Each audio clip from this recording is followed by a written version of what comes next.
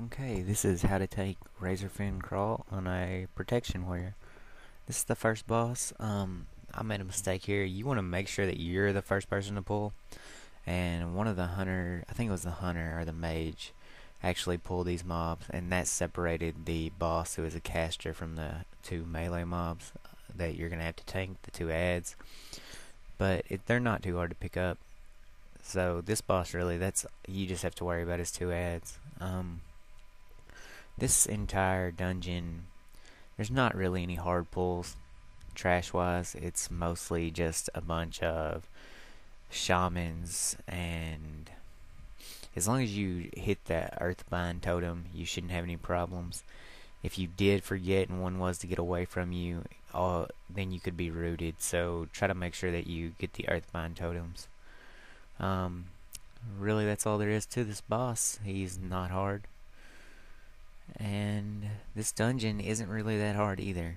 It has a lot of bosses though. Uh, which is a change from the last few dungeons I've done, which have only had like two bosses apiece. This one has five, I believe. So that was that one. Okay, here's the second boss. Again, someone else aggroes. Um, he summons some little uh, pigs Really, as long as you thunderclap every once in a while, you'll pick them up no problem. That's really all he does. These two are kind of mini bosses. They are not real bosses, I don't guess, but they do drop blues, so definitely worth going down the two side to kill.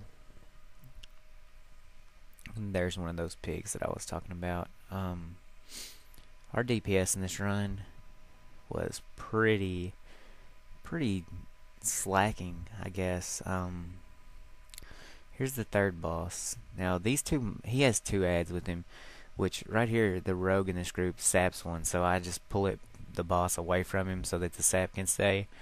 If you wanted to, in this group that I was running with, we actually had a mage and a rogue. We could have CC'd both of these mobs and just fought the boss. But it's not that hard to tank all them with all the adds. If you have a healer who maybe isn't as great as you'd like, you can go ahead and CC those. This boss doesn't do anything different. So you just, it's really just a tank and spank with a two adds. Um, our healer in this run, he was a balanced druid. So the heals, my health actually drops kind of low because he actually, um, I guess he was just DPSing and then he just let me get low and then heal me back up.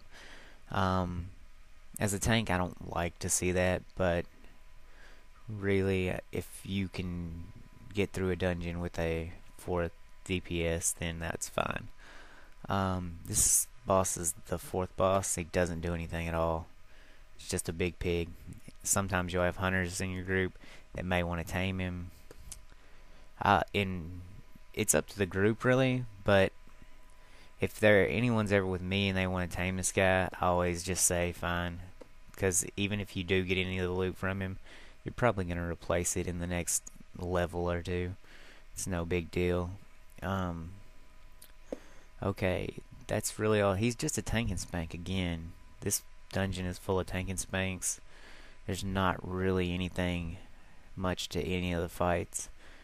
Now this coming up is the last boss in the dungeon.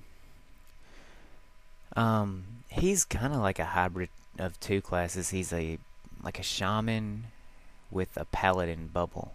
So, um, he doesn't really do anything when he goes in his bubble. He just goes immune to damage. So you just tank him like you normally would. He's just gonna be immune to damage every once in a while. Um, right here, I actually remember that I am trying to. Uh, get this footage for these videos, so I try to spin him around. Um, I try to get a better camera angle than looking at him through the door here. And I think he has chain lightning, so you may want to face him away. I spun him around to try to get a better view for the videos that I was making. But that's really all there is to this dungeon. This is not one that I would even try to run if you were questing. The quests are a lot more entertaining. This is kind of just boring. And that's all there is.